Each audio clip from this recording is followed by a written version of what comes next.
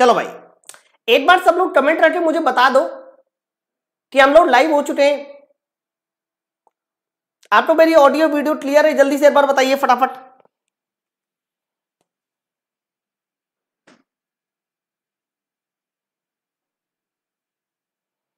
क्या बात है? ठीक है। तो नमस्कार साथियों, मैं योगेश गुप्ता एक बार फिर स्वागत करता हूँ आपके अपने YouTube channel Pathshala railway exam में। कैसे भाई सब लोग? हरा बच्चों, जैसा कि आप लोग को पता है कि हम लोग यहाँ बेसिक साइंस इंजीनियर ड्राइंग की चैप्टर वाइज प्रैक्टिस कर रहे हैं। आज हमारा डे नंबर पंद्रह है और आज का हमारा जो टॉपिक होगा, वो होगा ड्रॉइंग इंस्ट्रूमेंट तो मैं आज आपको ड्राइंग इंस्ट्रूमेंट के बहुत प्यारे प्यारे सवाल, एकदम मासूम मासूम से सवाल सॉल्व कराने वाला हूँ। बहुत ज़्यादा मज़ा आएगा। पहले जल्दी से सब लोग फटाफट कमेंट करके मुझे बताओ। आपको मेरी ऑडियो वीडियो सब कुछ क्लियर है? ओके क्या बात है? नमस्कार नमस्कार नमस्कार नमस्कार। ठीक है? तो आज का हमारा ड्राइंग इंस्ट्रूमेंट है, जिसमें ड्राइंग इंस्ट्रूमेंट ध्यान रखना। अगर इंजीनियरिंग ड्राइंग से सबसे ज़्यादा क्वेश्चन किसी सब्जेक्ट से पूछे जाएँगे, किसी टॉपिक से पूछे जाते हैं, वो हमारा ड्राइंग इंस्ट्रूमेंट ही होता है। चलो, आगे बढ़ते हैं। इसके अलावा मैं आपको बता दूँ एप्लीकेशन पे बेसिक साइंस इंडियन ड्राइंग की कंप्लीट बुक परचेस हो रही है। तो जिन्होंने अभी तक बुक ऑर्डर नहीं किया, आप किताब ज़रूर दे लीजिए। क्योंकि ये किताब, ऐसी किताब होगी जो बेसिक साइंस के पूरे 40 नंबर की तैयारी आएगी, ठीक है? और इसको ऑर्डर करने के लिए आप इस नंबर पे फ़ोन कर सकते हैं। बच्चों, इसके अलावा साइंस का कंप्लीट फाउंडेशन बैच ज्वाइन कर सकते हैं। बच्चों एलपी टेक्नीशियन का फाउंडेशन बैच जिसमें आपको सीवीटी वन और सीवीटी टू की पूरी तैयारी कराई जाएगी और इसमें हर वो चीज़ होगी जो आपके सिलेक्शन के लिए ज़रूरी है। सिंगल ऐसी चीज़ नहीं है जो आप कह सकते हो जो इसमें ना हो, है ना? Previous year paper mock test everything चलो। आगे आइए। इसके अलावा पार्ट ए जीडीसी एग्ज़ाम वाले बच्चे पार्ट ए और पार्ट बी का प्रैक्टिस सेट ज़रूर ले ले, क्योंकि इस समय सबसे ज़्यादा ज़रूरी है प्रैक्टिस और वो आप लोगों को इस बैच में मिलेगी, ठीक है? बच्चों, इसके अलावा आप लोग मुझसे अगर फिजिक्स पूरा पढ़ना चाह रहे हैं तो फिजिक्स की बुक को भी आप ऑर्डर कर सकते हैं इसी नंबर पे, ठीक है? चलो, इसके अलावा बेसिक साइंस इंजीनियरिंग ड्राइंग ध्यान रखना बेसिक साइंस इंजीनियरिंग ड्राइंग एक ऐसा बैच जो आपके सपने को साकार कर सकता है। 40 नंबर की पूरी तैयारी कराएगा ही नहीं, बल्कि पूरा सिलेक्शन में बदलेगा 40 नंबर। ठीक है? बच्चों, अब आज का पहला क्वेश्चन पढ़िए, समझिए और जल्दी से मुझे उत्तर बताइए। पहले क्वेश्चन का आंसर किसके साथ जाना चाहिए? क्या बात है? पहले क्वेश्चन बड़ा धमाकेदार। अरा, एक बार थोड़ा ध्यान से पढ़ना। जल्दीबाजी में भाई क्वेश्चन कोई गलत नहीं करेगा भगवान का समय तुम लोगों को। बताइए, पहला आंसर क्या होना चाहिए? ए वन क्या आकार क्या होता है? सर, इन्होंने ए वन का सीट का आकार पूछा है बताइए ए वन सीट का आकार क्या है? वेरी गुड वेरी गुड बार नाम नाम भी पढ़ लेता हूँ, है उज्जवल, नितिन, सुबोध ड्रीस नितिन, कपिल, राजेश, क्या बात है? अब जल्दी से पहला क्वेश्चन का आंसर सब लोग देंगे। बच्चों, सर, हम आपके पिंड पेड क्लास के नोट्स बना लिए, क्या बुक लेना ज़रूरी है? बिल्कुल भी नहीं ज़रूरी है, अगर आपकी नोट्स क्लियर है तो आपको कोई ज़रूरत नहीं है हरा जो लोग नोट्स नहीं बनाए, वो ले सकते हैं। चलो तो बच्चों, इसका जो सही आंसर जाएगा, वो ऑप्शन नंबर बी वाला उत्तर जाएगा। आपको मैं पहले भी बता चुका हूँ, जो सबसे बड़ा साइज़ होता है ए नोट वो होता है वन मीटर स्क्वायर लेकिन जब मैं ए वन की बात करता हूँ ना तो ए वन इसका आधा हो जाता है, क्योंकि ए वन की बात की जा रही है ना है ना? अगर मैं यहाँ पर A2 की बात करता कि ए टू क्या होगा तो ए टू बच्चा, इसका भी आधा हो जाएगा one by four metre square अगर मैं A3 की बात करता तो A3 इसका भी आधा हो जाता one by eight metre square क्या बात है? तो ऑप्शन नंबर कौन सा सही हो जाएगा? बी सवाल का सही उत्तर होगा। चलो, अगला वाला सवाल, बहुत प्यारा सवाल। देखते भाई, ये वाले सवाल का सही उत्तर कितना लोग दे पाते हैं? क्वेश्चन नंबर सेकेंड पढ़ो जल्दी से। और बताइए कमेंट करके इसका आंसर किसके साथ जाना चाहिए? ओके थोड़ा एक बार सेशन को शेयर भी कर दो सब लोग, ताकि जल्दी से हम लोग सौ प्लस पहुँच जाए। सवाल देखिए, अगला क्या है? ड्राइंग सीट के हरा एट साइज़ से ड्राइंग सीट के एट साइज़ से, अगले दूसरे छोटे साइज़ का क्षेत्रफल का अनुपात बताइए। एकदम ध्यान से सुनो। सर, इन्होंने अगला दूसरा छोटा साइज़ बोला है। मान लीजिए पहला ड्राइंग साइज़ ए नोट है। तो ए नोट के बाद बताओ सेकेंड नेक्स्ट सेकेंड स्मॉलर बच्चों next second smaller A one नहीं होगा सर ए टू होगा आप मेरी बात समझ पा रहे हैं ना? फिर से सुनिए। ड्राइंग सीट के इस साइज़ से अगले छोटे साइज़, अगले दूसरे छोटे साइज़। तो अगला छोटा साइज़ होगा पहला और अगला दूसरा छोटा साइज़ होगा आपका ये ए टू तो मेरे भाई, आपको ये वैल्यू पूछी जा रही है। A nought divide by A two पूछा जा रहा है। ठीक है? तो बताइए उत्तर किसके साथ जाएगा? तो कहना, अगर ए नॉट का एरिया वन है तो ए टू का एरिया बच्चों वन बाई फोर हो जाएगा। देख लो चाहे। अरे हो रहा ना one by four A two का एरिया और जैसे अगर मैंने ये रेशियो निकाला तो मेरे भाई बताइए किसके साथ आंसर जाएगा? फोर रेशियो वन के साथ जाने वाला है ऑप्शन नंबर डी वाले उत्तर के साथ जाने वाला है। आप सब लोग टू रेशियो वन या वन रेशियो टू दे रहे हो आप फिर समझो, इन्होंने क्वेश्चन क्या बोला? इन्होंने बोला था, अगला नहीं, अगला दूसरा।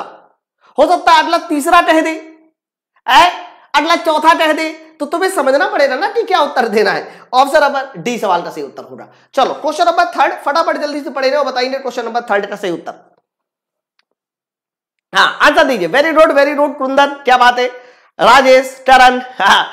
सारे के सारे बच्चे मिलके पहले एक बार सेशन को दबा के पहले शेयर करो, ताकि हम लोग सौ प्लस हो जाए पहले। सवाल देखिए क्या है कि आईएस के अनुसार आपको बताना है कि D3 का साइज़ क्या है।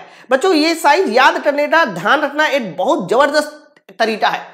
तरीका क्या है कि आप वैल्यू याद कर लो 1500 फिर वैल्यू याद कर लो 1000 फिर वैल्यू याद कर लो 700 फिर वैल्यू याद कर लो 500 और फिर वैल्यू याद कर लो 350 अरा, होता क्या है कि जब हम दो दो को मिलाकर ड्राइंग साइज़ बना लेते यानी ऊपर वाला 1500 और 1000 को मिला दो तो 1500 और 8000 का जो मल्टीप्लाई होगा, ध्यान रखना वो डी नॉट बनाएगा।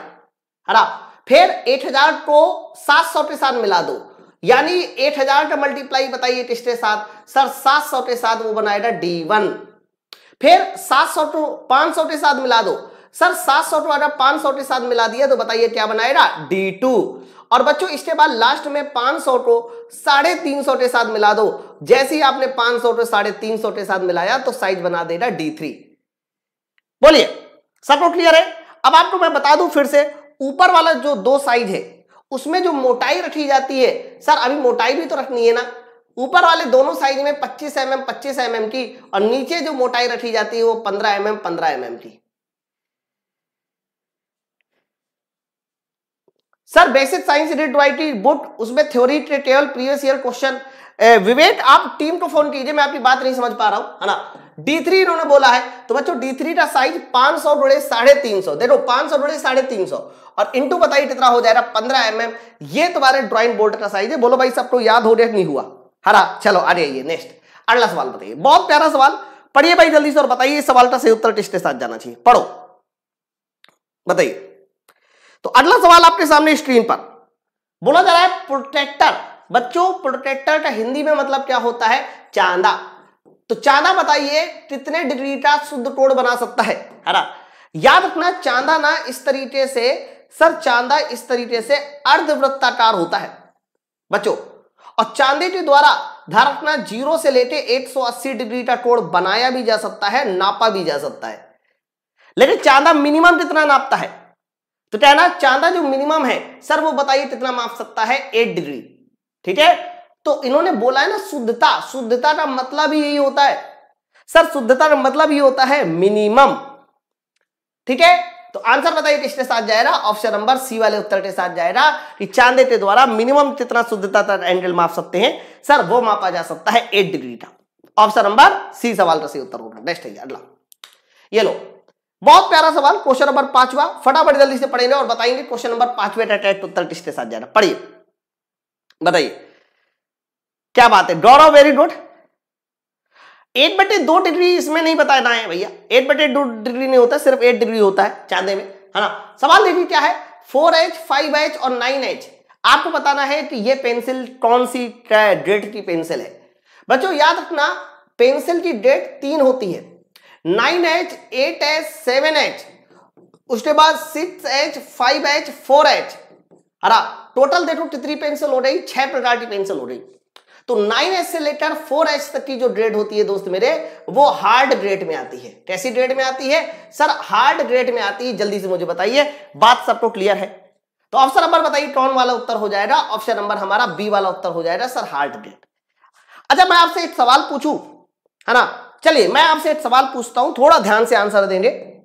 जैसे कि मैंने यहाँ पर दो लाइनें खींची, पहली लाइन और ये दूसरी लाइन। ठीक है, ये पहली लाइन दूसरी लाइन मैंने ये कहा कि ये जो दो लाइनें हैं, सर, ये दो लाइनों में से एक हमारा फाइव एच है एक हमारा फोर एच है. इन दोनों में से कोई एक फाइव एच है, दूसरा हमारा फोर एच है. आप में से कोई मुझे बताएगा कि कौन इन दोनों में से किस लाइन को आप फाइव एच कहना चाहोगे, किसे फोर एच कहना चाहोगे? जल्दी बताइए. हाँ बिल्कुल. एकदम सही बता रहे हैं तो बच्चों, ध्यान रखना. इन्होंने बोला कि भैया एट लाइन ये है एट लाइन ये है. आपको बताना इनमें से कौन फाइव एच हो सकता है, कौन फोर एच हो सकता है। तो बच्चों, ध्यान रखना जैसे जैसे हम एच बढ़ाते हैं ना तो हार्डनेस बढ़ती है। और हार्डनेस बढ़ने का मतलब होता है कि लाइटनेस या ब्लैकनेस कम होती है। तो मेरे भाई, ध्यान रखिएगा, जितनी भी कम, ये ज़्यादा ब्लैक है यार। तो ये ज़्यादा ब्लैक है तो इसे फोर एच बोला जाएगा, और ये कम ब्लैक है तो बताइए ये हमारा कौन सा होगा? फाइव एच होगा। ठीक है? तो इस तरह से आपको क्लियर होना चाहिए। आपको मैं बता दूँ, फिर से, देखो, सबसे पहले seven B six B four B three B और थ्री बी के बाद बताइए हमारा कितना हो जाएगा? ये जो है, सर, ये हमारी कहलाती है सॉफ्ट ग्रेड पेंसिल है सेवन से टू बी तक हमारी कहलाएगी सॉफ्ट ग्रेड पेंसिल फिर बी स्टार्ट कर दो एच बी एच बी के बाद एफ़ आता है। फिर H two H three H ठीक है? तो ये हमारा टू एच तक। ये कहलाता है तुम्हारा मीडियम ग्रेड तो बी से लेके टू एच तक कहलाता है। बी से लेके टू एच नहीं बी से लेके थ्री एच तक। है ना ये हमारा कहलाएगा मीडियम ग्रेड और फिर इसके बाद देखो फोर एस से लेके नाइन एस तक, ये बताइए कौन सा ग्रेड कहलाएगा? हार्ड ग्रेड ध्यान रखिएगा। चलो, आगे बढ़ा जाए। नेक्स्ट आइए, अगला। बताओ। बच्चों क्वेश्चन नंबर छठवा, बहुत प्यारा सवाल। और थोड़ा ध्यान से पढ़िएगा, नहीं तो गलती हो जा रहा सवाल। आंसर दीजिए। बताओ। वेरी गुड अगला सवाल लिखा हुआ है कि ड्राइंग साइज़ में आपको बताना है कि ए फोर मल्टीप्लाई थ्री बताइए ये क्या है? हरा ए फोर मल्टीप्लाई थ्री कई बार ऐसे सवाल आ जा रहे हैं कि ए फोर का मल्टीप्लाई तीन में होगा तो बताइए क्या होगा ठीक है? तो इसके लिए तुम्हें ए फोर का पहले साइज़ याद होना चाहिए। बताइए ए फोर का सबको साइज़ याद है? कोशिश करो कि ए फोर का साइज़ सब लोग याद कर लो। बच्चों ए फोर का साइज़ होता है दो सौ दस गुड़े दो सौ संतानवे। है ना? हालाँकि मैंने कभी याद नहीं किया तो लेकिन तुम लोग को पढ़ाते पढ़ाते याद हो गया। मैंने कभी नहीं याद किया, मैंने हमेशा ए नॉट याद किया, बाकी सब निकाल लिया। तो बच्चों, ये 210 गुड़े दो सौ लेकिन प्रश्न में ए फोर के साथ मल्टीप्लाई थ्री भी किया था। तो जैसे ही मल्टीप्लाई थ्री किया होगा तो इसका मतलब ये वाला उत्तर तो सही नहीं होगा। अब 210 को तीन के साथ मल्टीप्लाई कीजिए, या तो तीन के साथ इकतालीस दूनी, इकतालीस तिया तिरसठ, छह सौ तीस है नहीं नहीं है। अरे, है 630 है। ये लो भैया। यही वाला उत्तर सही हो रहा है ऑप्शन नंबर बी। चेक कर लो जल्दी से। जल्दी बताइए, सवाल का सही आंसर समझ में आ रहा भाई, इसका मल्टीप्लाई इसके साथ का कितना हो जाएगा? सर, ये मल्टीप्लाई में हो जाएगा तुम्हारा दो सौ संतानवे, छोटी भुजा को पहले लिखा और 630 बाद में लिख दिया।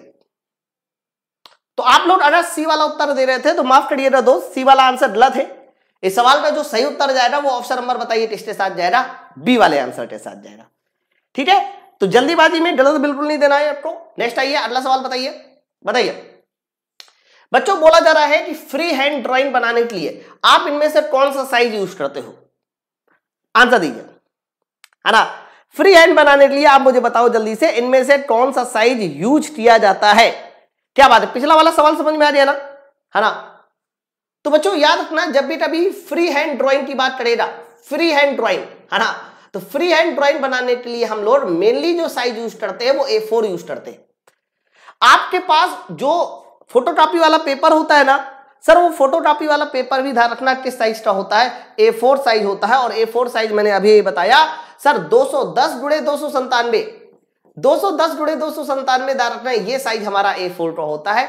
फ्री ड्राइंग बनाने के लिए हम लोग ए फोर का इस्तेमाल करते हैं ऑप्शन नंबर डी का इस्तेमाल करते हैं। ठीक है? चलो नेक्स्ट आइए अगला। ओहो, ये वाला सवाल लगाते दिखाइए। क्वेश्चन नंबर एट पढ़िए भाई जल्दी से। Yes Satyendra Ramesh very good Rajesh, Subodh, Sunay चालीस यू सेंटर उज्जवल, सत्येंद्र, संदीप। क्या बात है। बच्चों, अगला सवाल है, इनमें से कौन सा समूह सेट स्क्वायर में नहीं आता? है ना? मतलब इन्होंने बोला है कि इनमें से कौन सा समूह सेट स्क्वायर में नहीं आता। बच्चों, जो सेट स्क्वायर होता है ना, वो थर्टी सिक्सटी और नब्बे, एक तो ये होता है। भाई सेट स्क्वायर क्या है? त्रिभुज ही तो है। और बच्चों, जल्दी से मुझे बताइए, दूसरा क्या आता है? सर, दूसरा आता है पैतालीस पैतालीस, नब्बे। ये दो सेट स्क्वायर आते हैं। और कई बार सेट स्क्वायर जो त्रिभुज के फॉर्म का होता है, उसका त्रिभुज भी पूछ लेता है। पैतालीस पैतालीस, नब्बे, ये कौन सा त्रिभुज बनेगा? सर, ये बनेगा समदिबाहु त्रिभुज। इसे बोला जाएगा समदिबाहु। हरा, समदिबाहु समकोण त्रिभुज। कई बार ट्रायंगल का नाम पूछ लेगा। और ऊपर वाला जो होगा बच्चा, वो टेबल और टेबल कैसा त्रिभुज होगा। सर, ऊपर वाला जो होगा, वो टेबल और टेबल समतोड़ त्रिभुज होगा। समतोड़ त्रिभुज होगा। तो बच्चों, इनमें से कौन नहीं है? इन्होंने बोला था, कौन? सेट स्क्वायर का समूह नहीं है। तो आंसर इसका जाएगा ऑप्शन नंबर ए वाला उत्तर के साथ, क्योंकि छिहत्तर डिग्री सर, छिहत्तर डिग्री तो होता ही नहीं ना। चलो, आ जाइए। नेक्स्ट अगला सवाल बताइए। हेलो नौवा नंबर पढ़िए जल्दी से बताइए क्वेश्चन नंबर नाइन का टेट उत्तर क्या होगा? क्या बात है? ओके वेरी गुड थोड़ा एक बार सेशन को शेयर भी कर दो सब लोग एक साथ पहले। जल्दी से हम लोग हंड्रेड प्लस हो जाए। फटाफट एक बार शेयर कर दीजिए। और जिन्होंने अभी तक सेशन को लाइक नहीं किया, एक बार लाइक ज़रूर कर देना। सवाल बोला जा रहा है कि मिनी ड्राफ्टर में दोनों भुजाएँ किस कोण पर होती हैं? है ना? बच्चों, आप कभी मिनी ड्राफ्टर तो देखिए तो उसमें एक इस तरीके से होता है, फिर एक भुजा ऐसे निकली होती है, एक भुजा ऐसे निकली होती है। बोलो, होता है ना? है ना और ये दोनों अंदर जाके जो है, एक राउंड वाले खाने से कनेक्ट होते हैं ऐसे। तो याद रखना, ये दोनों भुजाएँ मिनी ड्राफ्टर की दोनों भुजाएँ, कितने एंगल पर होती है? तो कह देना, ये दोनों भुजाएँ बनी होती है नब्बे डिग्री के एंगल पर। है ना? तो ऑप्शन नंबर बताइए किसके साथ जाएगा? ऑप्शन नंबर बी वाला उत्तर होगा, नब्बे डिग्री ठीक है? मैं आपको कुछ प्रोसेस के नाम बोल रहा हूँ, आप मुझे बताना हम लोग मिनी ड्राफ्टर से कर सकते हैं कि नहीं कर सकते। ठीक है? पहला, कोड बनाना। दूसरा, समांतर रेखा खींचना। तीसरा, लंबवत रेखा खींचना। तीसरा क्या है? लंबवत रेखा खींचना। अगला, चाप खींचना। अगला क्या है बच्चा? अगला है चाप खींचना, जैसे हम वृत्त का चाप खींच देते हैं ना। ठीक है?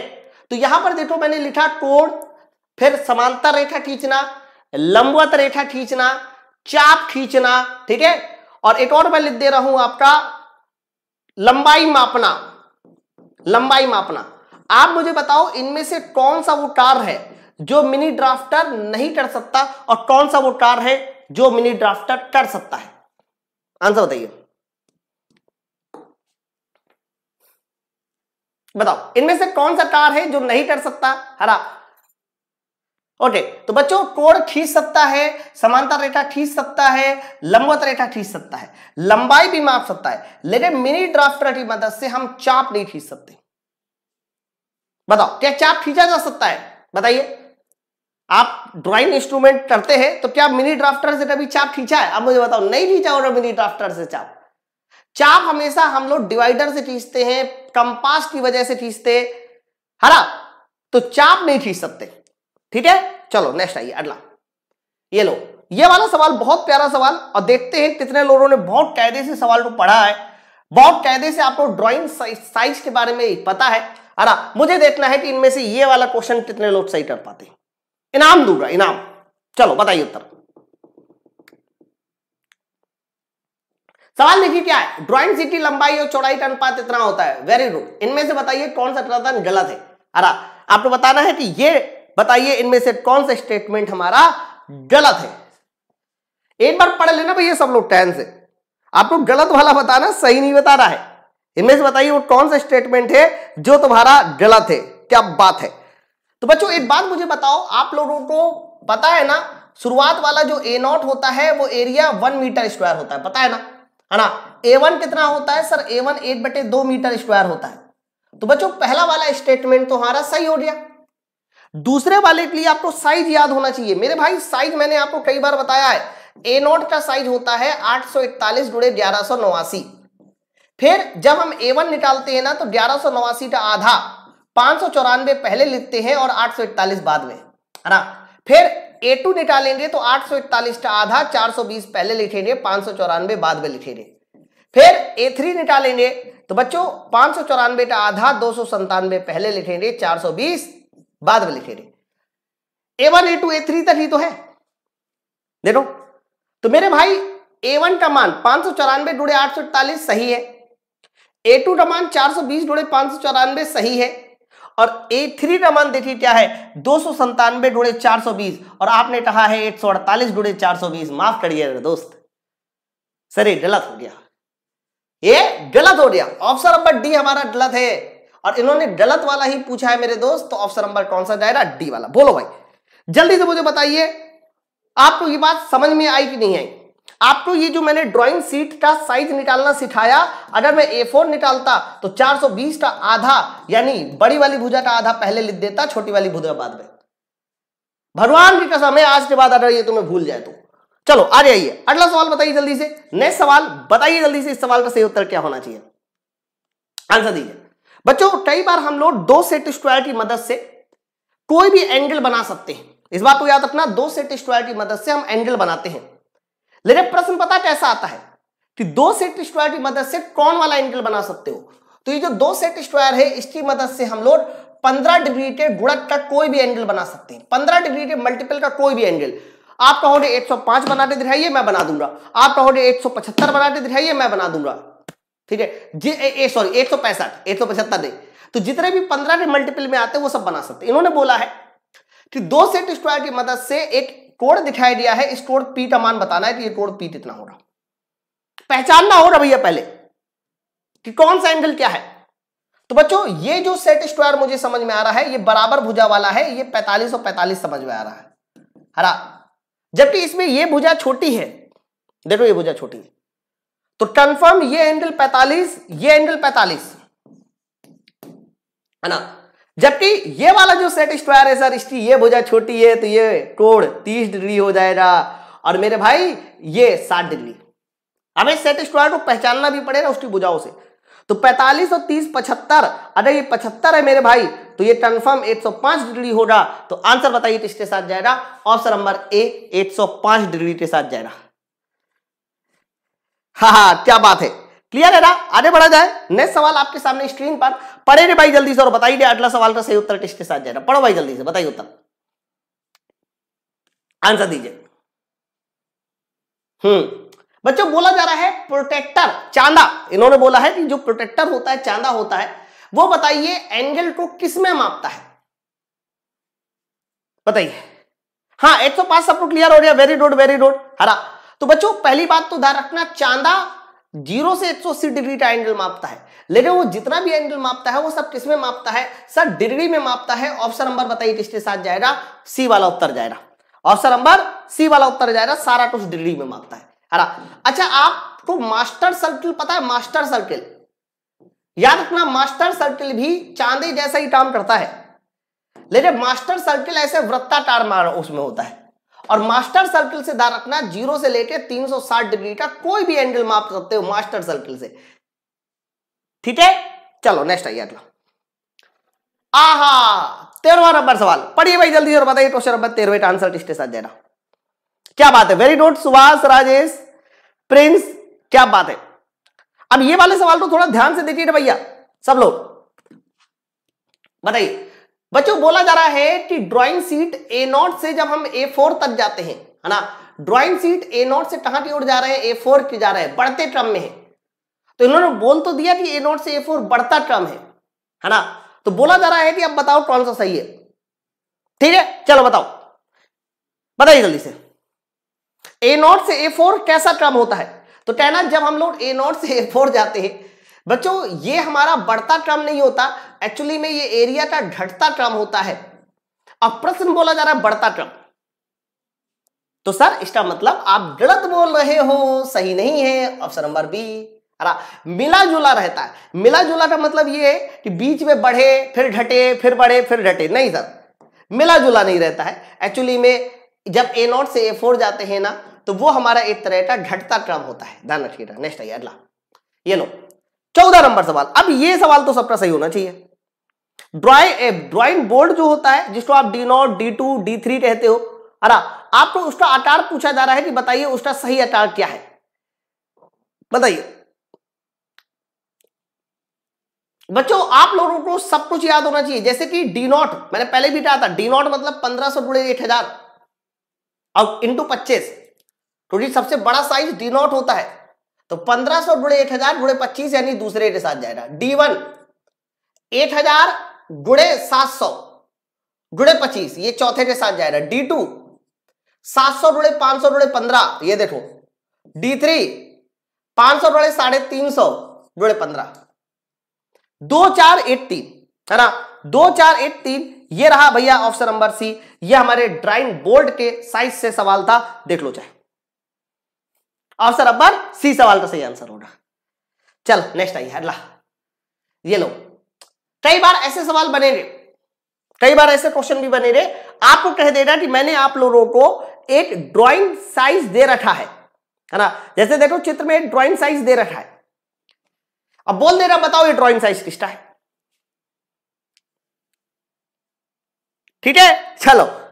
आप लोग बता पाओगे? पाँच सौ चौरानवे जुड़े आठ सौ इकतालीस क्या है? देखो, मुझे नहीं याद हुआ। आज तक नहीं याद हुआ। मैंने अपने स्टूडेंटों को भी नहीं कहा, नहीं, याद कर लो। मुझे बस एक याद है कि पहला वाला जो होता है वो आठ सौ इकतालीस जुड़े ग्यारह सौ नवासी होता है। तो बताइए, दूसरा वाला क्या हो जाएगा? तो ग्यारह सौ नवासी का आधा पाँच सौ चौरानवे और मेरे भाई आठ सौ इकतालीस देखो उसी तरह से रहेगा। रहेगा ना? तो ये कौन सा हो जाएगा? सर, ये ए वन साइज़ का हो जाएगा ऑप्शन नंबर सी ये सी कर लेना उसको। है? नेक्स्ट आइए। सोलवा नंबर आ, ये सवाल बढ़िया। आंसर देंगे भाई। हम्म। अच्छा ट्रिक सबको समझ में आ रही नहीं आ रही? मुझे पता है कि आप लोग बहुत ज़्यादा इसको याद करने में कंफ्यूज रहते थे, लेकिन याद करना बहुत आसान होता है, बिल्कुल भी कठिन नहीं होता है।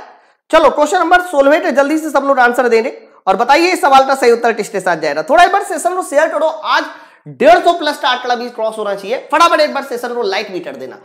छोटी कंपास के द्वारा कितने वृत्त का चाप खींचा जा सकता है? बच्चों, दो तरह के कंपास आते हैं, एक छोटा कंपास आता है, एक बड़ा कंपास आता है। ओके तो जो छोटा कंपास आता है लिख लीजिए अगर मैं छोटे कंपास की बात करूँगा तो छोटे कंपास की मदद से हम लोग 25 एम mm से लेकर 50 एम mm, है ना? 25 एम mm से लेकर 50 एम mm तक का व्रत खींच सकते हैं। ध्यान रखना ये व्यास है व्यास ये व्यास है। रेडियस में पूछा जाएगा तो और कम कर देगा। लेकिन अगर यही बड़ा कंपास होता कि बताइए बड़े कंपास में आप कहाँ से कहाँ तक खींच सकते हो तो कह देना बड़े कंपास में आप 50 से लेके 150 एमएम तक का व्रत खींच सकते हैं व्यास में। तो आंसर बताइए किसके साथ जाएगा? ऑप्शन नंबर सी इस सवाल का सही आंसर जाने वाला है। 25 एमएम से 50 mm. Option number C, data याद कर लेना। नेक्स्ट आइए अगला। बताइए। बताओ, बहुत प्यारा सवाल। टाइटल ब्लॉक का क्वेश्चन है। देखते कितने लोग टाइटल ब्लॉक का सही आंसर दे पाते इनमें से कौन टाइटल ब्लॉक में नहीं लिखा जाता? बताइए। इनमें से क्या टाइटल ब्लॉक में नहीं लिखा जाता? है ना? पहली बात तो आप लोग को याद होना चाहिए टाइटल ब्लॉक होता कहाँ है? जैसे कि मेरे पास ये ड्राइंग सीट है है ना? तो बच्चों, ये ड्राइंग सीट है तो इसके राइट साइड में नीचे आ जाइए। ये देखो, है ना?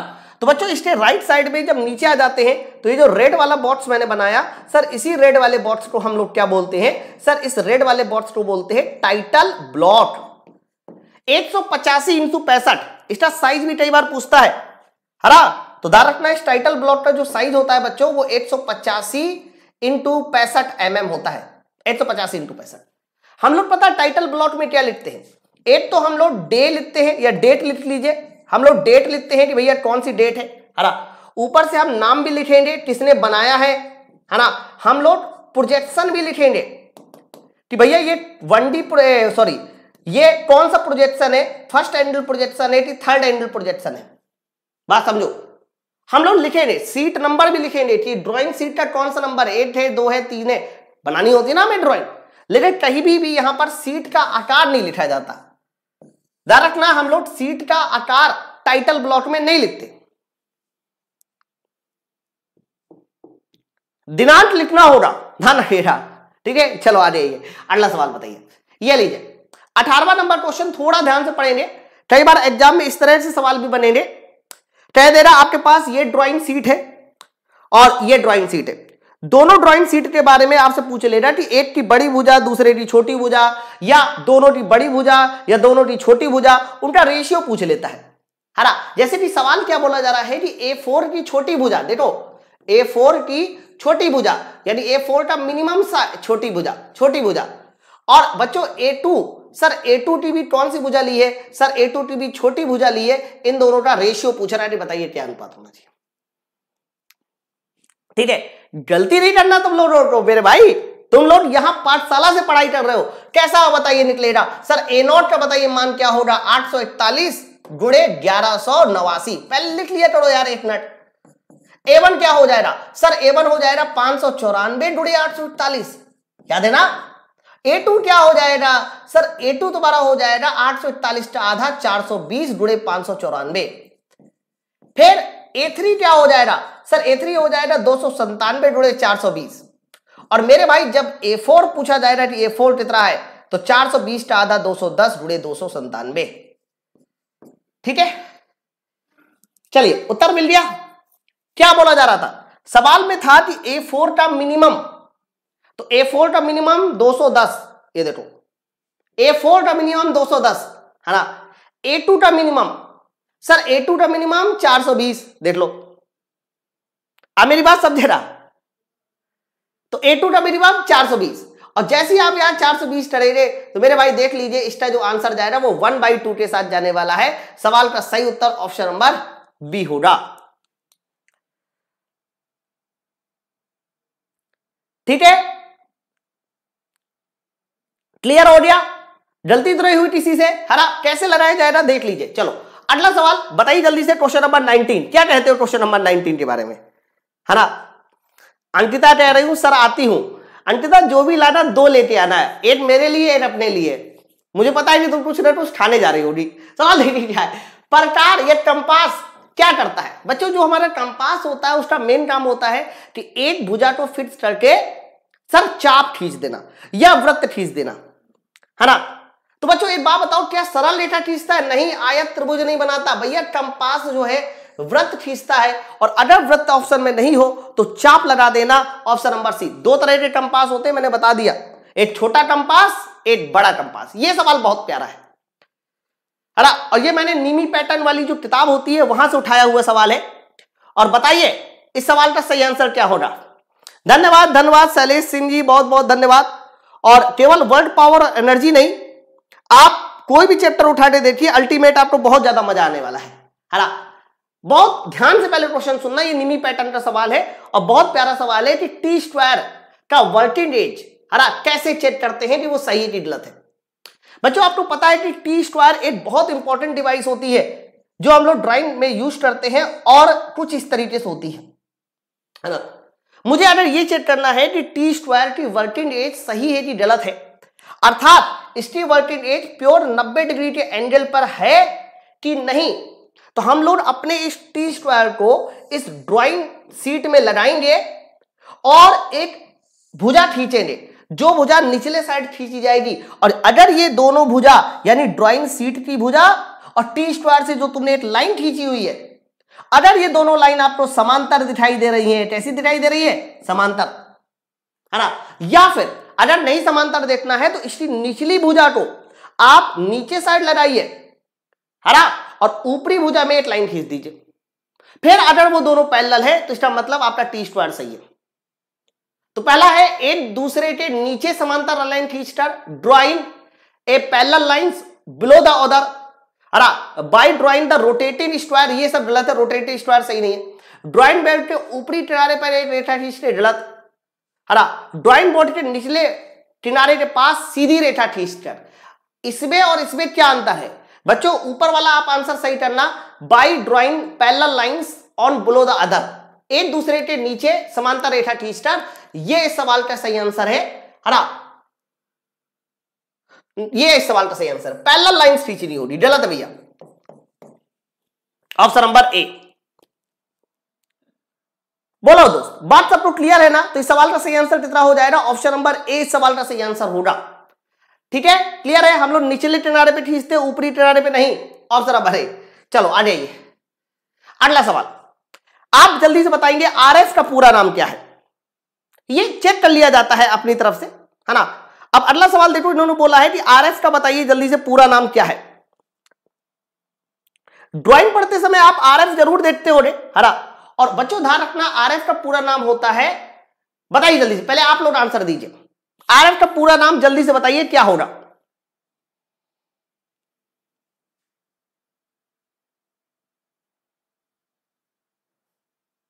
आंसर दीजिए।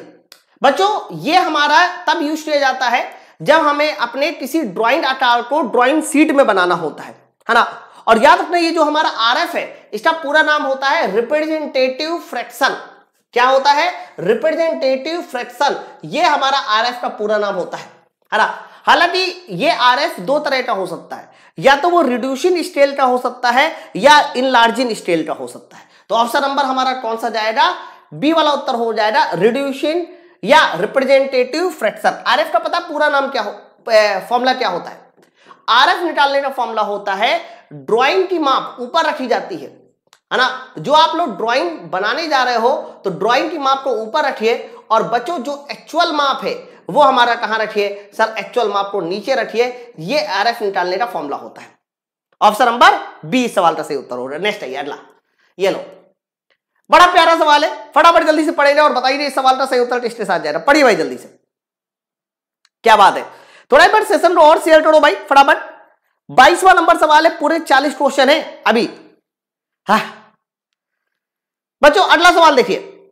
बच्चों नेक्स्ट सवाल है पेंसिल की लीड का ग्रेड सबसे अधिक सॉफ्ट किसमें है? है ना? आप मुझे बताओ, इनमें से कौन सबसे अधिक सॉफ्ट है? बच्चों, आपको मैं बता दू नाइन एच और सेवन बी बीच में बहुत सारी पेंसिल होगी उसको छोड़ दीजिए थोड़ी देर लिए। ध्यान रखना, ये जो नाइन एच है ना, ये सबसे ज़्यादा हार्ड पेंसिल है। तो हार्डेस्ट पेंसिल कोई पूछे तो कह देना नाइन एच अरा सेवन बी ये बताइए, कैसी पेंसिल होती है? ये सॉफ्टेस्ट पेंसिल होती है, सबसे ज़्यादा सॉफ्टेस्ट ठीक है? बच्चों, इसके साथ साथ ये सबसे ज़्यादा ब्लैक होती है ब्लैकेस्ट पेंसिल है। मतलब इससे जो कुछ भी लिखोगे एकदम काला काला होगा हरा बच्चों नाइन एच वाली जो पेंसिल है, वो बहुत हल्की लिखती है लाइटेस्ट बहुत हल्की पेंसिल लिखी जाएगी। तो कलर एकदम इसका कैसा होगा? हल्का होगा। इन्होंने बोला है कि बताइए कौन सबसे अधिक सॉफ्ट है? तो ऑप्शन नंबर बताइए किसके साथ जाएगा? डी वाले उत्तर के साथ। अब आप लोगों को बताना है कमेंट में कि सेवन बी और नाइन एच इनमें से किसमें ड्रेफाइट की मात्रा ज़्यादा होती है, किसमें ड्रेफाइट की मात्रा कम होती है? ना? तो जब भी कभी ड्रेफाइट की मात्रा पूछा जाए तो कहना ड्रेफाइट जिसमें ज़्यादा होता है, उस पेंसिल द्वारा लिखे गए अक्षर एकदम काले काले होते हैं ब्लैक होते हैं। तो सेवन बी में जो ड्रेफाइट होगा, उसकी मात्रा मैक्सिमम होगी। इसके अक्षर हल्के होते हैं तो नाइन एच में ड्रेफाइट की मात्रा कैसी होगी? सर मिनिमम होगी। मिनिमम एक और चीज़ सुनिए। बच्चों, एक और मात्रा होती है कायोलाइन की। हरा, ध्यान रखना यह भी मात्रा कई बार पूछ लेता है। बच्चों इसकी मात्रा मिलाने से पेंसिल हार्ड होती है कैसी होती हार्ड। तो ये तो सॉफ्ट है। तो ट्रेवल लाइन की मात्रा सेवन बी में कैसी होनी चाहिए, मिनिमम होनी चाहिए। क्योंकि ये मिलाने से हार्डनेस पैदा होती है। ग्रेफाइट मिलाने से सॉफ्टनेस और ब्लैकनेस आती है। है ना? तो जल्दी बताइए, नाइन एच चूँकि ये पेंसिल सबसे ज़्यादा हार्ड है, और इसीलिए इसकी मात्रा जो है, यहाँ पर हमारी कैसी होगी सबसे ज़्यादा। तो ये सारा कुछ आप लोगों को याद होना चाहिए, है ना? फ़िलहाल आंसर सेवन बी होगा। अगला सवाल, बताइए जल्दी से उत्तर। आप लोग थोड़ा एक कमेंट बॉक्स में एक चीज़ कमेंट करोगे। जो पेंसिल होती है ना पेंसिल पेंसिल का क्रॉस सेक्शन एरिया मुझे बताइए जल्दी से। हा हा। जो पेंसिल होती है पेंसिल का क्रॉस सेक्शन एरिया बताइए जल्दी से क्या होता है। फटाफट कमेंट करके बताएँगे पेंसिल का क्रॉस सेक्शन एरिया क्या होता है। अगला सवाल बताइए। आंसर दीजिए। पेंसिल की लीड लीड बताइए पेंसिल की किस्ट्री बनी होती है? पेंसिल की लीड का मतलब होता है कि जो अंदर का ब्लैक ब्लैक वाला हिस्सा है। हरा तो वो ब्लैक वाला हिस्सा किसका बना होता है? सर, वो बना होता है ड्रेफाइट का। किसका बना होता है? ड्रेफाइट का बना होता है ऑप्शन नंबर डी के साथ। चलो बच्चों, मैंने एक सवाल आपसे पूछा है कि पेंसिल का एरिया कैसा होता है? तो कह देना पेंसिल का जो क्रॉस सेक्शन एरिया होता है, जब आपसे पूछा जाए तो हेक्सा डोनल बताना है। कितना बताना है? हेक्सा डोनल बताना है। ध्यान रखिएगा। अगला सवाल बताइए जल्दी से। ये लीजिए। हाँ हाँ। कई बार ऐसे क्वेश्चन भी आ जाएँगे। पढ़िए जल्दी से। वेरी गुड उमंड यदुवंशी अंजना कुंदन क्या बात है, उज्जवल? पढ़िए भाई जल्दी से और बताइए अगले सवाल का आंसर किसके साथ जाना चाहिए? वेरी गुड मज़ा आ गया। निम्न में से ड्राइंग पेपर का बताइए, सही साइज़ क्या है? अरे भैया ड्राइंग पेपर की साइज़ आपने पढ़े नहीं पढ़े। अब आप बताओ, क्या 145 कहीं सुना है? नहीं भैया 145 हमने कहीं नहीं सुना। क्या 700 700 गुड़े 900 सुना है? कहीं नहीं सुना। है ना? हमें ड्राइंग पेपर का सही साइज़ बताना है। तो आप मुझे बताओ, इनमें से सही साइज़ कौन है? बच्चों, आपने 148 वाला सुना है? जैसे A4 वाला क्या होता है? सर A4 वाला होता है 210 गुड़े दो ये होता है। हरा और क्या हमने सी वाला साइज़ सुना है? ए क्या होता है? आठ सौ इकतालीस यानी पाँच सौ चौरानवे गुड़े ग्यारह आठ सौ इकतालीस। अरे भाई, ये सही है, ये गलत है। बी वाला साइज़ होता ही नहीं है, चाहे चेक कर लो, कोई नहीं साइज़ होगा। तो कंफर्म ड्राइंग पेपर के साइज़ में से ये वाला साइज़ आपको मिल सकता है, लेकिन इनमें से और कोई भी साइज़ नहीं मिलेगा। और अगर ये पूछे कि ये कौन सा साइज़ है तो कहना ये साइज़ है सर ए का। नेक्स्ट आइए, अगला। बताओ। 25 नंबर सवाल। पढ़िए जल्दी से और बताइए क्वेश्चन नंबर 25 का उत्तर। ये तो बता दो यार। आंसर दीजिए। राहुल, सुनील वेली गुड अच्छा आप सब लोग एक बार कमेंट बॉक्स में थम्सअप करके ज़रूर मुझे बताएँ कि आपको क्लास समझ में आ रही नहीं आ रही। जो मैं आपको चीज़ें समझा रहा हूँ, जो मैं आपको बता रहा हूँ, वो आपको पल्ले पड़ रहा है नहीं पड़ रहा। ऐसे सवाल दोबारा कभी आपके मिलेंगे, सामने आमना सामना होगा। तो फोड़ दोगे ना? है? बताइए। सवाल देखिए अगला क्या है कि मास्टर सर्कल में बताइए कितने डिग्री से कितने डिग्री तक कोण मापा जाता है। बच्चों मास्टर सर्किल पूरा एक वृत्त में होता है। हरा ध्यान रखना ये पूरा का पूरा सर्कल फॉर्म का होता है। और याद रखना मास्टर सर्कल से हम लोग ज़ीरो से लेकर 360 डिग्री ज़ीरो से 360 डिग्री का पूरा एंगल माप सकते हैं ऑप्शन नंबर डी नेक्स्ट है अगला ये लो। अब थोड़ा ब्लेड की लंबाई के बारे में भी पढ़ ले हाँ, हाँ, हाँ। बताइए जल्दी से उत्तर। आंसर दीजिए बच्चों इन्होंने बोला है कि आईएस 1986 के अनुसार T3 बच्चों, आपको पता है कि जो भी हमारा टी स्क्वायर होता है तो टी स्क्वायर मार्केट में कितने साइज़ का आता है? एक टी नॉट आता है टी वन आता है टी टू आता है एक टी थ्री आता है। चलो भाई, जल्दी से बताइए, इनके ब्लेड के साइज़ कितने होंगे? तो सबसे बड़ा होता है, ध्यान रखिएगा सर टी नॉट इसमें ब्लेड का साइज़ उतना ही होता है, जिसमें ड्राइंग बोर्ड का मैक्सिमम साइज़ 1500 फिर 1000 याद है? मैंने कहा याद कराया था फिर 700 और बच्चों, उसके बाद बताइए कितना हो जाएगा? सर, उसके बाद हो जाएगा 350 mm सॉरी 350 टाइटो। 700 के बाद नंबर आएगा 500 mm का। देख लो। सर, इन्होंने टी थ्री ब्लेड पूछी है। तो टी थ्री ब्लेड बताइए किसके साथ जाएगा? सर 500 एम के साथ जाने वाला है ऑप्शन नंबर डी के साथ है। हाँ बिल्कुल। राजेश, एकदम तुमने सही कॉन्सेप्ट दिया, वही मैं आपको समझाना भी चाह रहा हूँ। सारे बच्चों को एकदम समझाना चाह रहा हूँ। ये वाला सवाल बताइए। बच्चों, इन्होंने बोला है कि चित्र में दो टी स्क्वायर की मदद से हमने एक एंगल बनाने की कोशिश की। और आपको पूछा जा रहा है कि बताइए ये एंगल कितना बनेगा? हरा, और ये वाला एंगल पूछा जा रहा है कि टी स्क्वायर में बताइए ये वाला एंगल कितना हो रहा है, ये ए एंगल कितना हो रहा चलो, बता पाओगे? जल्दी बताइए, बता पाओगे? पहले पहचानना होगा दोस्त कि कौन सी बुझाए कौन है। मेरे भाई कंफर्म ये तुम्हारा 45 डिग्री और 45 डिग्री वाला हो रहा। क्योंकि इसमें दोनों भुजाएँ लगभग बराबर दिखाई दे रही हैं। और इसमें देखो, सर, इसमें ये भुजा छोटी है, ये भुजा बड़ी है। तो छोटी भुजा के सामने का टोड़ छोटा, बड़ी भुजा के सामने का टोड़ बड़ा। क्या कहते हो? तो कंफर्म साठ और चालीस एक सौ पाँच तो ये वाला एंगल बताइए, कितना हो जाएगा? सेवेंटी फाइव डिग्री का हो जाएगा। ऑप्शन नंबर बी सवाल का सही आंसर होगा सेवेंटी फाइव डिग्री नेक्स्ट आइएगा ये लो, बहुत प्यारा सवाल। आंसर दे रहे फटाफट जल्दी से बताइए कमेंट बॉक्स में क्या आंसर होना चाहिए। देखो, एक बार एक काम करो सब लोग हरा जल्दी से सब लोग एक साथ शेयर कर दो, ताकि हम लोग तुरंत एक झटके में डेढ़ सौ प्लस हो जाए। इतनी ईमानदारी के साथ, इतनी मेहनत के साथ क्लास लाई जाती है, ताकि आपका रिस्पॉन्स तगड़ा मिले। हरा और ज़रूर अभी तक लाइक नहीं किया लाइक भी कर दीजिए। क्योंकि वो भी हमारा कम से कम 150 प्लस होना चाहिए। ड्राइंग बोर्ड में बताओ ये जो चिन्हित भाग एक्स है इस चिन्हित भाग एक्स को क्या नाम से जाना जाता है? अभी मैंने आपको ड्राइंग बोर्ड का साइज़ बता दिया। बच्चों ड्राइंग बोर्ड में ना हम लोग यहाँ पर एक छोटी सी प्लेट लगाते हैं। ये प्लेट इसलिए लगाई जाती है ताकि इसमें ना टी स्क्वायर फिट किया जा सके। क्या फिट किया जा सके? टी स्क्वायर अरा, हालाँकि अब टी स्क्वायर की जगह ही ले लिया है वो मिनी ड्राफ्टर ने। तो बच्चों, इस जगह का नाम क्या है? सर, इस जगह को बोला जाता है इबोनी। है ना? Ebony edge. क्या बोलते हैं? इबोनी एज बोलते हैं जगह को, जहाँ पर टी स्क्वायर फिट किया जाता है ऑप्शन नंबर बी के साथ। ध्यान रखिएगा। नेक्स्ट आइए। अगला सवाल। उनतीस नंबर। क्या बात है। बताइए। बच्चों, बोला जा रहा है कि इंजीनियरिंग ड्राइंग में पंद्रह डिग्री के अंतराल में, है ना? पंद्रह डिग्री के अंतराल में बताइए कौन सा कोड बनाता है? बहुत बढ़िया सवाल इन्होंने बोला है कि पंद्रह डिग्री के अंतराल में बताइए कौन कोड बनाता है। आंसर दे दे हाँ तो बच्चों मैंने अभी बताया ना, पंद्रह डिग्री के अंतराल में टोड़ बनाने के लिए हम किसका इस्तेमाल करते हैं? तो कहना पंद्रह डिग्री के अंतराल में हम लोग सेट स्क्वायर का इस्तेमाल करते हैं। किसका सेट स्क्वायर का। दो तरह के सेट स्क्वायर होते हैं। उनको अलग अलग पोजीशन में रखकर पंद्रह डिग्री का वो यूज़ कर लेते हैं। और जितने भी पंद्रह के मल्टीपल में होते हैं सारे के सारे कोड हम लोग सेट स्क्वायर की मदद से बना सकते हैं। नेक्स्ट आइए, तीस। ये लो, बताइए। हाँ आंसर दीजिए। अगला सवाल देखो क्या बोला जा रहा है कि फ्री हैंड ड्राइंग किस पेंसिल से बनाई जाती है? अरे फ्री हैंड का मतलब समझते हो कि किसी तरह का कोई पैमाना नहीं, कुछ नहीं। उठाया, सामने किसी को रख लिया। मान लीजिए आपने सामने घोड़ा को रख लिया घोड़े का चित्र ऐसे बना लिया।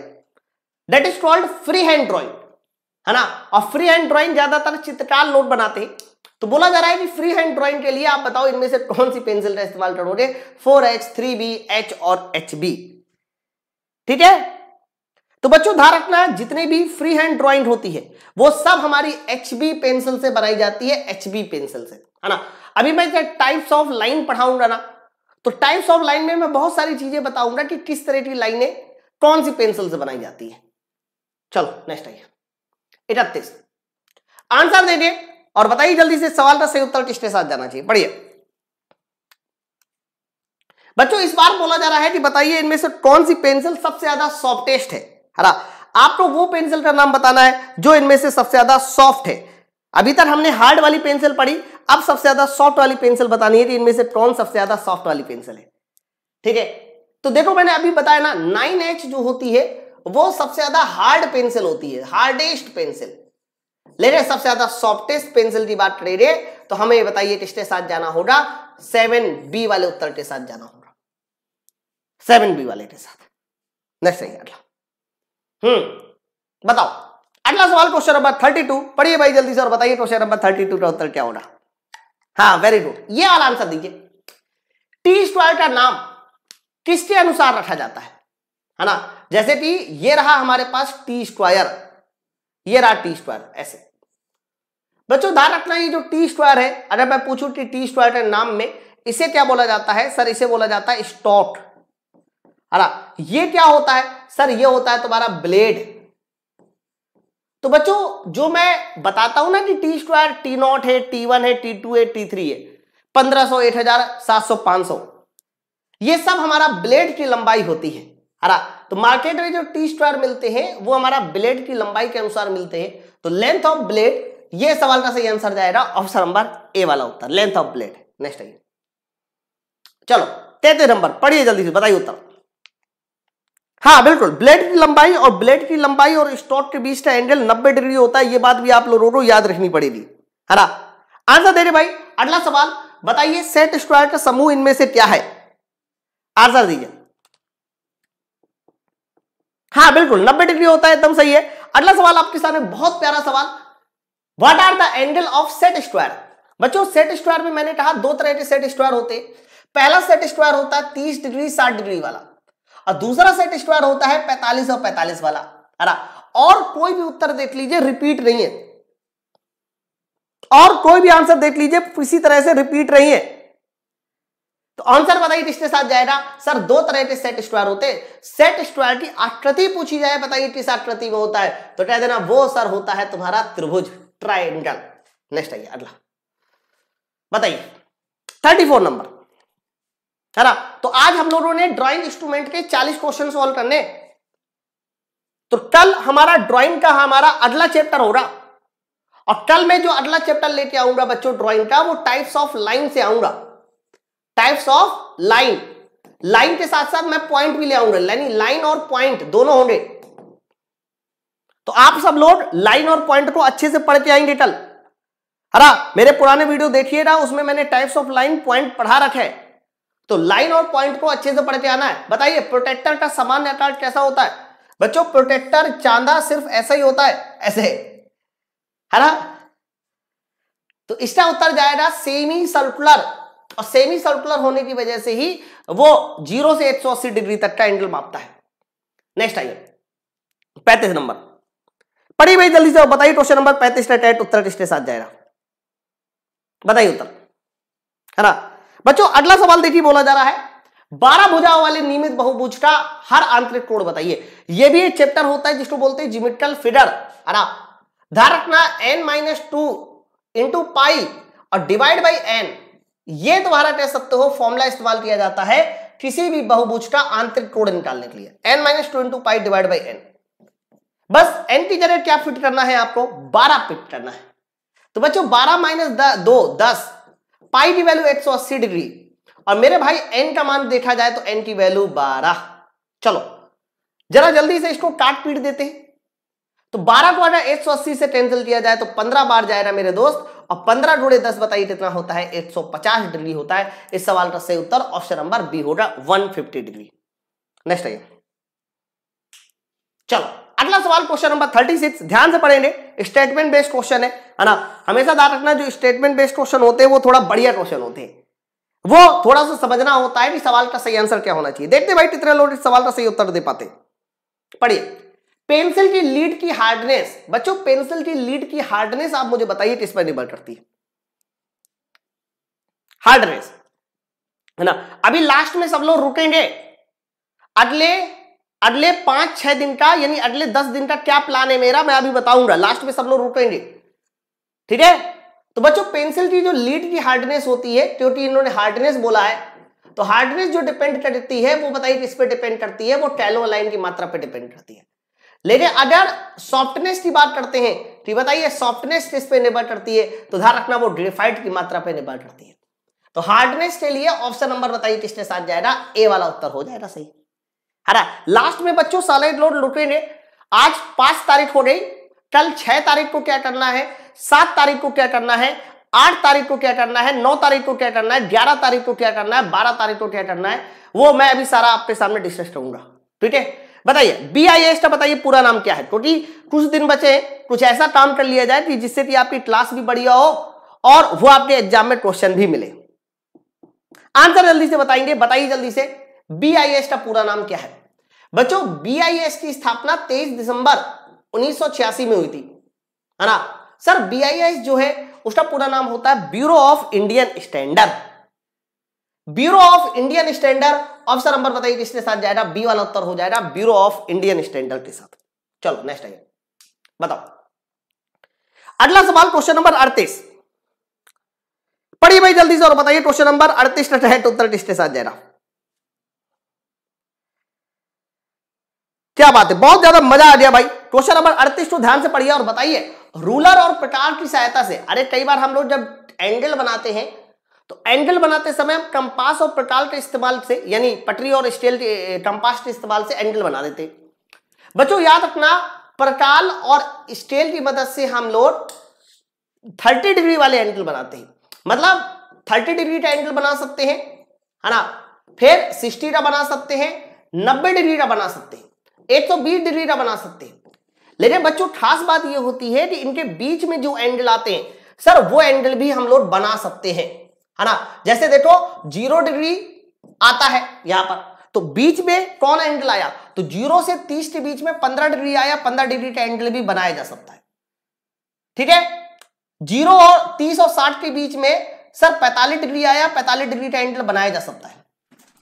तीस और पैंतालीस, ध्यान रखना, तीस और पैंतालीस के बीच में बताइए कितना एंगल आता है। तो कहना, तीस और पैंतालीस के बीच में देखो, साढ़े सैतीस आता है, वो भी बनाया जा सकता है मेरे भाई। आ मेरी बात समझो। साढ़े सैतीस और तीस। सर, साढ़े सैतीस और तीस के बीच में बताइए कौन सा एंगल आ जाएगा। थोड़ा गणित निकाल के बताओ। तैतीस, चौतीस चौतीस तो नहीं आएगा, है ना? तैतीस दशमलव समथिंग आएगा, वो एंगल भी हम लोग बना सकते। यानी जितने भी बीच वाले एंगल होते हैं, जैसे कि साठ और नब्बे के बीच का साढ़े कितना? पचहत्तर बनाया जा सकता है। पचहत्तर और साठ, पचहत्तर और साठ के बीच का एंगल साढ़े सड़सठ बनाया जा सकता है। तो बीच वाले एंगल हमेशा बना सकते हैं। तो साढ़े सड़सठ बना सकते हो, साढ़े बाईस बना सकते हो, साढ़े सैंतीस बना सकते हो, लेकिन तितालीस डिग्री नहीं बनाया जा सकता, आप चाहे चेक लो। ठीक है? हाँ देखो, एक लोड मुझे बता दिया, तैतीस दशमलव सात पाँच, बिल्कुल। तैतीस दशमलव सात पाँच का भी एंगल बनाया जा सकता है। नेक्स्ट आइए, उनतालीस नंबर। पढ़िए भाई जल्दी से और बताइए क्वेश्चन नंबर उनतालीस टेट उत्तर किसके साथ जाना चाहिए? पढ़ो भाई जल्दी से। समझ में आ रहा ना सबको? चलो 90 डिग्री का एंगल खींचने के लिए बताइए हम इनमें से किसका उपयोग कर सकते हैं? है ना? 90 डिग्री का भैया एंगल खींचना है। और बताइए 90 डिग्री का एंगल खींचने के लिए हम इनमें से किसका यूज़ कर सकते हैं? तो बच्चों, अगर हम आपको एक त्रिभुज दे दे, जिसमें 30 और 60 का एंगल हो तो उससे 90 डिग्री का एंगल खींचा जा सकता है। बिल्कुल एकदम सही। क्योंकि अगर दो टोड़ 30 और 60 हो रहे तो तीसरा टोड़ 90 होना ही होना है। हरा चांदी की वजह से भी खींचा सकता है और बच्चों, जो मिनी ड्राफ्टर होता है, उससे भी आप 90 डिग्री एंगल खींच सकते हो। इसीलिए सवाल का सही आंसर बताइए किसके साथ जाएगा ऑप्शन नंबर डी वाला उत्तर होगा। ठीक, चलो नेक्स्ट आइए। चालीस। बच्चों, चालीस नंबर सवाल बोला जा रहा है कि बीस एम mm चौड़ाई की, है ना? बॉर्डर लेंथ का सवाल है। देखो, पहले मैं बता दू बॉर्डर लेंथ क्या होती है? जो ए नॉट और ए वन होता है, इनके साइज़ बड़े होते हैं। ए नॉट ए वन के साइज़ बड़ा होते हैं। तो बच्चों ए नॉट और ए वन के लिए जो बॉर्डर चौड़ाई होती है, वो बीस एम mm रखी जाती है। कितने एम एम बीस एम mm लेकिन अगर मैं बात करता हूँ ए टू मैं बात करता हूँ ए थ्री मैं बात करता हूँ ए फोर और बच्चों, मैं बात करता हूँ ए फाइव की। अरा उनके लिए बॉर्डर चौड़ाई कितनी रखी जाती है? दस एम mm रखी जाती है। ठीक है? तो सवाल का बताइए, आंसर किसके साथ जाएगा? सर 20 एम के लिए बोला जा रहा है। तो आंसर इसका ऑप्शन नंबर बताइए, कौन सा हो जाएगा? सी वाला आंसर हो जाएगा। अरा, अब आप लोग में से वो लोग रुके रहे जो रेगुलर मुझे फॉलो करते हैं, रेगुलर मेरी क्लास में आते हैं, उनके लिए एक बढ़िया सा सरप्राइज़ है यूट्यूब पर। और जो लोग अभी जाना चाहते हैं, वो लोग चले जाए। हरा लेकिन अभी मैं पाँच दस मिनट आपसे बातचीत करूँगा, मैं अभी बताऊँगा आपको कि अगले पाँच छह दिन में मैं आपके लिए क्या स्पेशल करने वाला हूँ, जो आपका पंद्रह दिसंबर में सिलेक्शन करा दे। तो इसलिए वो लोग ज़रूर रुटे रहे। ठीक है? चलो भैया तो यहाँ से आज के चालीस क्वेश्चन खत्म हो जाते हैं। मैं आपको आगे बता देता हूँ कि आगे हम लोग क्या करने वाले हैं अगले बचे हुए दिनों में, क्या टाइम टेबल रहेगा उसको समझ लीजिए पहले। देखो, आज तारीख कौन सी हो रही? पाँच। बच्चों, हमारे पास छह दिसंबर है, हमारे पास सात दिसंबर है, हमारे पास आठ दिसंबर है। हमारे पास नौ दिसंबर है, हमारे पास दस दिसंबर है, हमारे पास ग्यारह दिसंबर है, हमारे पास बारह दिसंबर है। है ना? इसी तरह से बताइए, हमारे पास तेरह है, हमारे पास चौदह है, सिर्फ़ चौदह तक का प्लान है मेरे पास। उसके बाद हम लोग क्या करेंगे बच्चों? पंद्रह तारीख को जो पेपर होगा, वो पेपर सामने वाली क्लास में सॉल्व करेंगे। ठीक है? चलो, अब बात आपको बता दू, छह तारीख को क्या है? सर, आज हो गया मंगलवार। यानी छह को वेटनेसडे होगा, सात को हमारा थर्सडे होगा, आठ को हमारा फ्राइडे होगा, नौ को हमारा सैटरडे होगा, और बच्चों, दस को हमारा संडे होगा। ठीक है? सुनिए आप ध्यान से जो मैं बता रहा हूँ। ध्यान सुनो। है ना? तो कल वेटनेसडे है। कल हम लोग बचा हुआ पार्ट पढ़ेंगे, यानी लाइन एंड पॉइंट के बारे में पढ़ेंगे। इसके क्वेश्चन अभी नहीं हुए ना लाइन एंड पॉइंट के, वो पढ़ेंगे। इसके बाद हम लोग सात तारीख को जो पढ़ेंगे, वो प्रोजेक्शन पढ़ेंगे। प्रोजेक्शन के अभी क्वेश्चन नहीं हुए। ड्राइंग में यही दो चैप्टर बचे हैं प्रोजेक्शन और लाइन इनको पढ़ेंगे। है ना? बच्चों, आठ तारीख को मैं क्या कहूँगा कि आठ तारीख को मैं यूट्यूब पर एक पूरा सेट सॉल्व कराऊँगा ऑटोमोबाइल का। ऑटोमोबाइल में कौन कौन सी ट्रेड आएगी वो आएगी हीट इंजन है ना? Diesel mechanic motor mechanic vehicle और हमारा ट्रैक्टर मैकेनिक व्हीकल पचहत्तर क्वेश्चन का ये सेट सॉल्व कराऊँगा। पचहत्तर क्वेश्चन का होगा ये सेट इसके बाद जो हमारा सैटरडे आएगा सैटरडे में मैं मैकेनिकल का थ्रेड एट सेट सॉल्व कराऊँगा मैकेनिकल के सेट में फिटर टर्नर और मशीनिस्ट फिटर टर्नर और मशीनिस्ट इसका जो पचहत्तर क्वेश्चन का सेट होगा, बच्चों, वो मैं सॉल्व कराऊँगा ठीक है?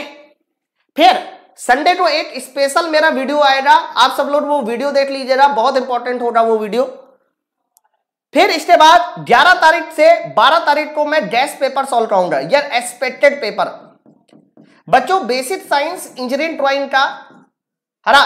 Sir basic science engineering drawing के, मैं सोच रहा हूँ लास्ट में मैं आपको 40-40 क्वेश्चन का एक और एक्सपेक्टेड सेट सॉल्व करा दूँगा। यहाँ पर एक्सपेक्टेड पेपर वन होगा एक्सपेक्टेड पेपर टू होगा एक्सपेक्टेड पेपर थ्री होगा एक्सपेक्टेड पेपर फोर होगा। फिर जब पंद्रह तारीख आएगी तो जीडीसी का एग्ज़ाम हो चुका होगा और जीडीसी का एग्ज़ाम का जो पेपर सोल्यूशन है, मैं पंद्रह को पेपर सोल्यूशन रहूँगा पंद्रह को पेपर सोल्यूशन रहूँगा ठीक है? सर, मैं बड़ा कंफ्यूज हूँ एसएससी रेलवे के लिए। बच्चा, मैं तो सीधा कहूँगा कि अगर आपके मन में है कि मैं एस एस आपकी एज है तो फॉर्म सारे भरिए। किसी तरह का कोई कंफ्यूजन मत रखिए, क्योंकि फॉर्म सारे डालने चाहिए, कोई तैयारी अलग अलग नहीं है। एसएससी और रेलवे की तैयारी, ये मत सोचो कि बहुत ज़्यादा डिफरेंट है। ठीक है? ओके भाई? तो आप सब लोग स्क्रीनशॉट ले लो। अगले जितने भी बचे हुए दिन हैं, उस दिन मैं ये क्लासें लेके आऊँगा और इनकी टाइमिंग शाम के सात बजे होगी। सर, आपको कोई भी क्लास ले लो, देखने मज़ा आता है। अच्छा ठीक है। ओके, और मैं ये इसलिए लेके आ रहा हूँ ताकि एक बार बच्चों को पचहत्तर क्वेश्चन का ऑटोमोबाइल का सेट मिले।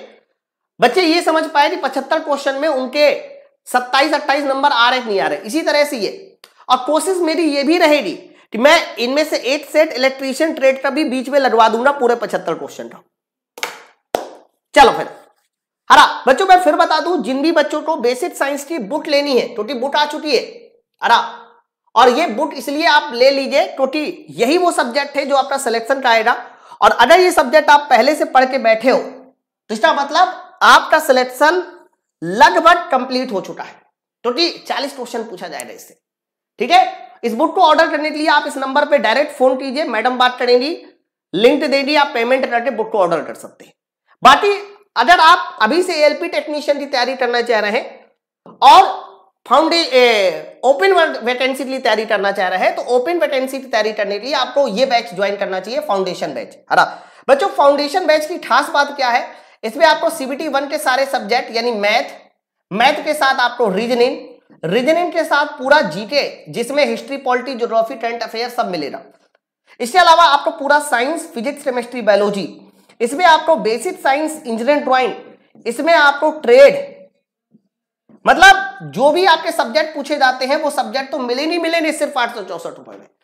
आपको बच्चों यहाँ पर सीबीटी वन का मॉक टेस्ट हरा, ये भी मिलेगा। उसकी संख्या होगी चालीस।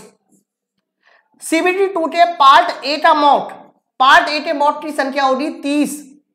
इसके अलावा आपको ट्रेड का मॉड सर, ट्रेड की मॉड की संख्या होगी दस। आप सोच से देखिए, इतना सब कुछ मात्र आठ सौ चौसठ रुपए में। आप माई पाठशाला एप्लीकेशन को डाउनलोड करके अपने बैच को ज्वाइन कर सकते हैं और इसकी वैलिडिटी तब तक है, जब तक कि आपका सिलेक्शन नहीं हो जाता। एक साल, दो साल नहीं, जब तक जब तक कि आपका रेलवे टेबल सिलेक्शन नहीं हो जाता। माई पाठशाला एप्लीकेशन। ठीक है? और कोई भी दिक्कत आती है तो ये नंबर लिख लीजिए आप लोग हरा। इस नंबर पे भी फ़ोन कर सकते हैं छियानवे छियानवे एक सौ दो चार सौ ग्यारह। और बैच को ज्वाइन करते समय आप हमेशा एक कोड इस्तेमाल कीजिए डिस्काउंट लिए योडी टेन। योडी टेन कोड लगाइए मैक्सिमम डिस्काउंट के साथ आप बैच ज्वाइन कर सकते हैं। चलो फिर है ना? आ, निमीस इंग्लिश में काम चल रहा है दोस्त है ना?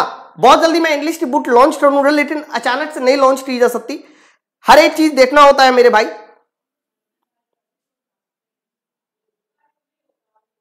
ठीक है? कोई और डाउट है तो जल्दी से पूछ लीजिए। चलो फिर हम लोग मिलते हैं नेक्स्ट वीडियो में। वीडियो को एक बार लाइक ज़रूर कर देना अपने दोस्तों के साथ शेयर ज़रूर कर देना। Thank you very much